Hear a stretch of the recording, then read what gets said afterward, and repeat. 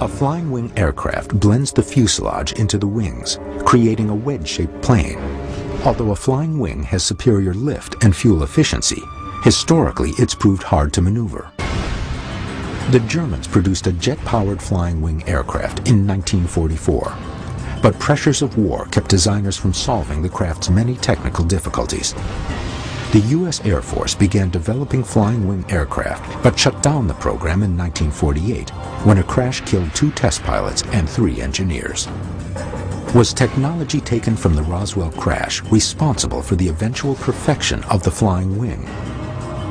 if these UFOs existed and they were just thousands of years more advanced than what we are familiar with today, I'm not sure that we would be able to understand it. Reverse engineering entails copying everything from an existing machine, from complicated electronics down to the chemical composition of basic materials. It's no easy task, even when the technology being copied is from right here on Earth. The B-29 bomber is probably the best example of reverse engineering. Through the Cold War, World War II, World War I, the military has been doing reverse engineering uh, of foreign aircraft. Famous cases of, of the U.S. getting their hands on Russian aircraft and reverse engineering the functionality or some of the advanced performance characteristics of the Russian aircraft. And it goes both ways. The Russians are doing the same thing to us.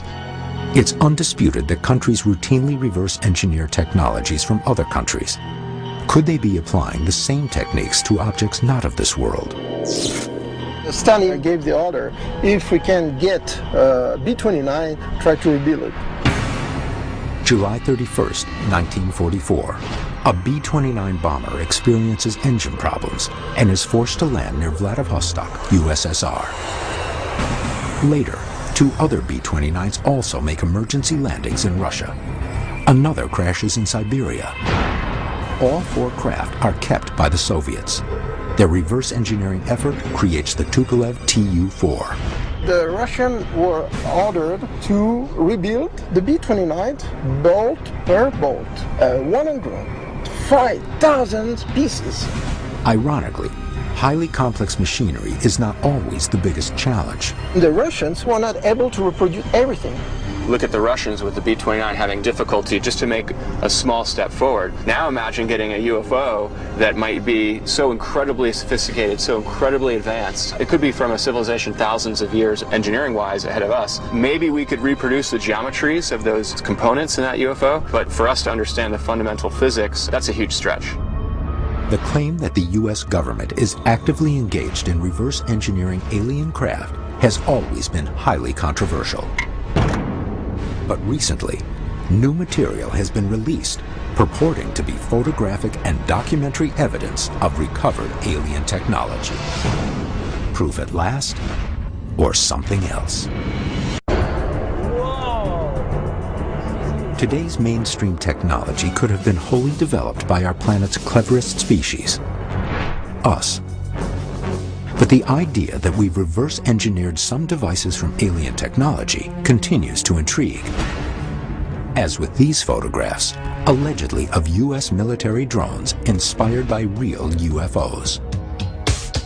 MUFON director James Carrion notes striking similarities between the photographs of the purported military drone and a famous UFO crash in Pennsylvania. December 9, 1965. Thousands of people in six states and Ontario, Canada report seeing a brilliant fireball streak overhead. A number of frantic calls from witnesses were recorded on tape and still survive.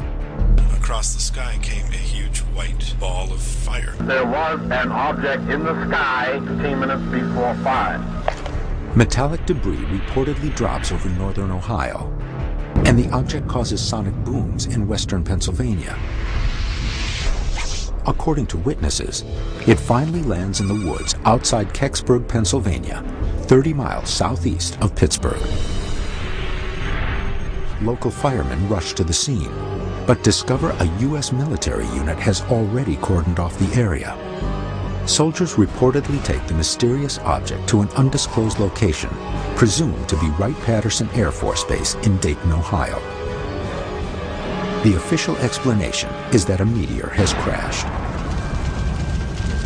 But numerous witnesses and newspapers believe that this was in fact a UFO. and that it has played a key role in the U.S. military's reverse engineering program. If you look at eyewitness information who actually saw the Kecksburg object, they saw it make a 25 degree trajectory change and some sort of intelligent control when it came down. And eyewitness testimony states that what they found was an intact craft on the ground. It had made a trench where it had come down after it broke through a bunch of trees, and that it was retrieved intact by the military, put on a flatbed truck, and transported out of the area. Carrion's research has revealed that numerous eyewitnesses of the Kecksburg crash reported seeing strange symbols on the base of the UFO. When the town erected a monument to the crashed object, the symbols were prominently recreated. And now, 40 years after the crash, they are apparently turning up in another context. So we see the correlation between the symbols on the drone craft and the symbols that were seen on the Kecksburg. If the CARET documents are indeed real, they indicate the government may be using private industry to reverse engineer. Private entities have another advantage. They're immune to Freedom of Information requests. That object that is in that image is completely inconsistent with the physics of aircraft flying. For example, the mass distribution or the center of gravity is way off. So there's no way that could fly through air at high speed which leaves me thinking there's some uh, miracle technology that's way beyond anything we can understand. Maybe there's a it's enveloped in a force field and that's providing the aerodynamics. You know, it's speculation, but it's it's important to look at the physics of what's being presented. Have you had a chance to analyze this? Oh yeah, these are some of the drone images.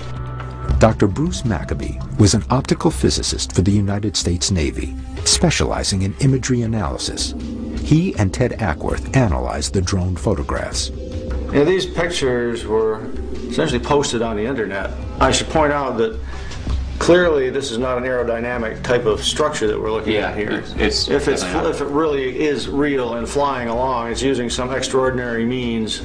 Uh, it could be extremely lightweight and blowing air downwards, I suppose. It's immediately obvious that these vehicles, if real, defy conventional aerodynamics. In order to fly, they would have to use some unknown method of propulsion and lift. It seems that just about every case, the, the quality of the images is very low. In this case, with the military drones, for once, we have what appear to be very well exposed digital photographs.